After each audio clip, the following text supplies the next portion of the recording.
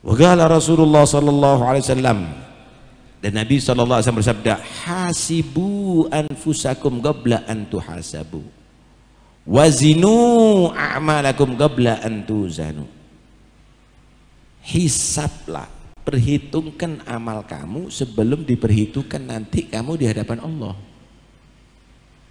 Saudara, kita ini akan dipertanggungjawabkan loh di hadapan Allah nantinya.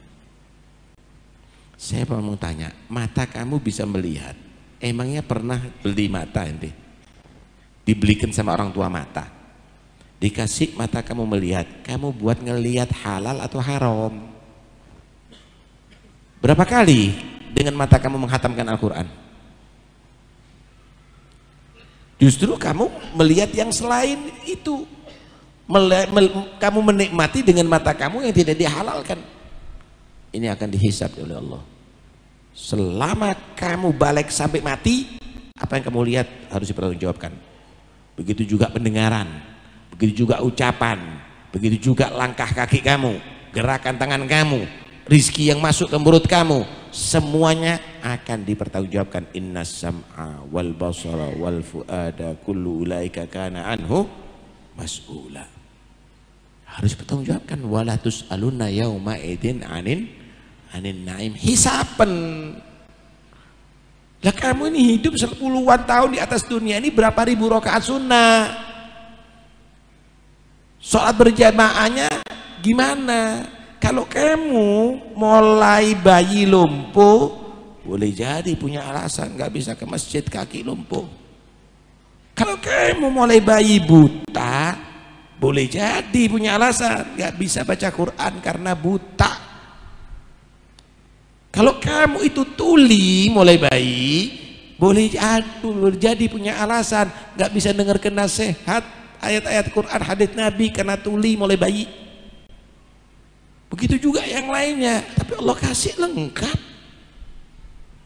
Apa alasannya tidak memperbanyak ibadah? Hisaplah diri kamu sebelum kamu dihisap di hadapan Allah Subhanahu wa taala.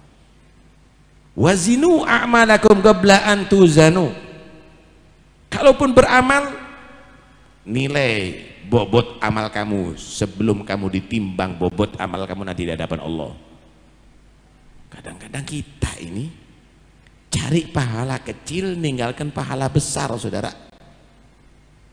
Salah kaprah.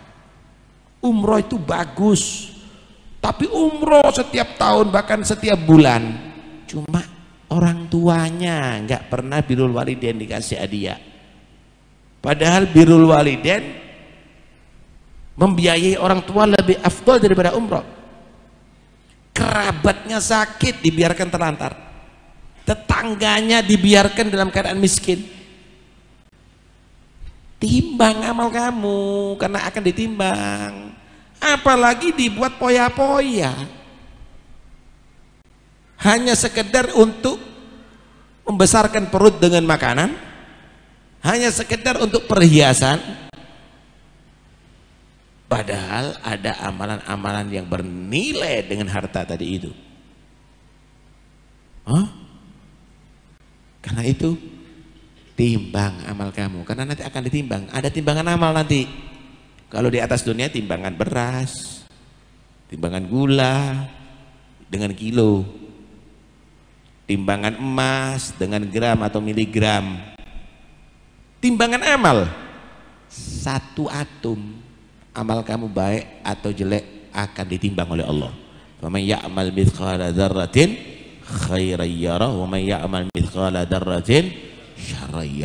siapa orang yang beramal satu atom kebaikan akan dia saksikan pahalanya. Siapa orang yang beramal satu atom kejelekan juga akan ia saksikan dosanya.